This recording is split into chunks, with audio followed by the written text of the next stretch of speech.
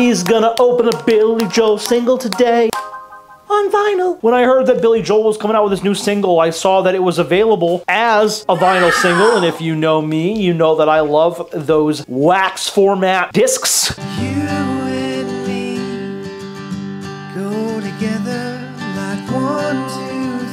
I've been waiting for you because I want you to share in the joy of unboxing this with me. I'm Very excited to open it up, look at it, and then play it for you guys. I always get scared when I put the uh, scissors in here. You never know what they're gonna do. Okay, good. There's cardboard on the other side. That's a good sign. Just a second here. I'm gonna cut this other side.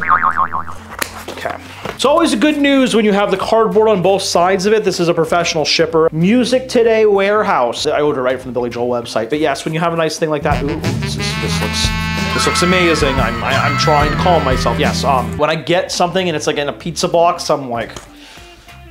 If you don't do this type of method of taping the cardboard on both sides, you can get split seams and nothing is more frustrating than buying a new record, opening it up, and then the, the record slides out because the top or the bottom split. That's not happening. This is a beautiful new single here. Oh man, how beautiful that is. So obviously that's the Columbia symbol up there. It's almost like yellowy golden type look here. Black, of course, we're turning the lights back on. Thematically, it looks nice. Barcode on the back so you can scan it so that you can upload your little copy to Discogs. This is a blind buy for me. I pre-ordered it. My thought was I was gonna own a piece of history either way. Either it was gonna be so terrible that I'd be like, this is the shining turd in my collection, or the shining star. It's right out the top here. I'm gonna take it right out of its.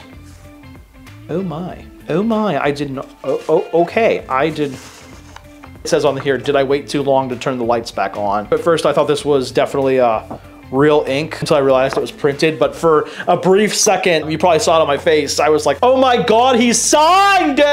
He did not sign it. You might not be able to see it on the video here, but it is printed on. And then on the back here, we got all the lyrics. You know, sometimes on a 45, you'll see that. There's that little doodad goodie. But let's take a look at the vinyl. Let's see what it looks like. A lot of these 45s, they'll be different colors, special editions. This is just very classic looking. You don't have to have a little spindle for it. A lot of the old 45s, you have to have this little disc thing you put in the center of it to actually be able to spin it. They punch out this part here, this like center part here, they punch it out. And if you don't have that, you just can't play the 45. I bought a bunch of 45s a while ago at a flea market, and thankfully one of them had that little centerpiece in. If I hadn't had that, I would have been screwed. I always get scared when I put the vinyl back in because I always feel like I'm like this goofball trying to do it. I'm sure someone's watching me like, oh my god, this guy does not know what he's doing. And I do, but like when I get on camera, I I get a little antsy. I just don't want to look like a fool, and then I end up looking like a fool. I probably should have put this in first. You ready to hear this bad boy? I'm ready to hear this bad boy. I don't know why it's a bad boy. It could be a good boy. Look at that. It's Vinyl Cat. He's always here. When there's vinyl to be played, he is here. I know this is stacked like the scariest thing ever. It hasn't fallen yet. Sometimes it shakes a bit and I get a little scared. I hope we're all ready for the grand unveiling of Billy Joel's single on a 45 here. Both sides say it's turn the lights back on. Sometimes put a B side of something different or weird or strange. None of that going on here. We're gonna make sure that's true. Get that sweet, sweet needle drop there. Sounds very good. Hey, you wanna dance?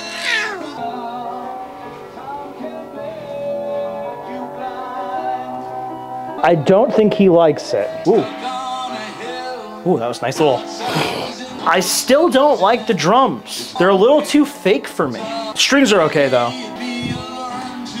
Maybe you won't. There's just nothing that beats that needle going over those grooves, huh? And if you're someone who doesn't collect vinyl and you're not someone who gets much into this, I'm telling you, you're here right now, it does feel different. Now the big question is, is it different on the other side? That's the question I want to ask. It says no, but do we believe that? There's gonna be a secret message on here. He's, at the end of the year, I'm coming out with an LP. I think it's gonna be the same.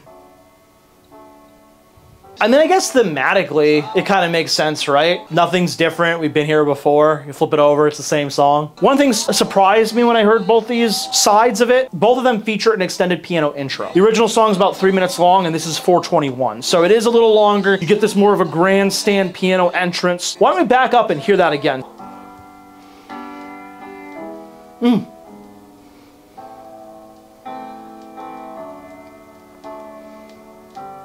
It said they didn't have this in there. Sounded nice. I I think it's a little weird. Like, why didn't they put like something else on the on the other side, right? Release an old single, old material. He's got stuff from the 70s and 80s he hasn't even released. Why is that on the other side? It could be, but no, he just got the same song twice. I'm not trying to razz Billy Joel here. I'm just saying he missed an opportunity. Damn, it sounds so good though. I'll, I'll admit that. Got that going for you, Billy. Vinyl sounds good. Good quality. Top notch. 10 stars. 5 stars. 2 thumbs up. This is my Billy Joel turn the lights back on dance. You gotta do the slow waltz here. It's all with the arm movement. I was trying to do that with Jack, but he wasn't interested. Was it worth buying or not? If you're a Billy Joel fan, yeah. If you wanna have his new single because you like it, yeah. I think one of the biggest faults of it is to have the same song on both sides. I think he wasted an opportunity that he could have had doing something a little cooler one way or another. If he could have given a little bit more for the fans that put down the money to get the vinyl, I do think it would have been nice. Part of the fun with 45s is having an A side and a B side. It would have been nice if something weird was on it or something, even him talking, even him being like, yeah, like I'm here with my single, whatever thing. I think there should have been something more for the Billy Joel fan who purchased this, just because it's a physical media thing. Like you don't have to purchase this at all. You could have just streamed it on Spotify. But overall, the sound quality is good. It sounds great. I really enjoyed listening to it. I'm glad I have it. If you have any comments or thoughts, put them in the comment box below. I'd love to hear from you all. I love you so much, and I hope that you're not a meanie. If you're a meanie, I don't want to hear from you. As always, I'm Bill Cooper, and I love you all.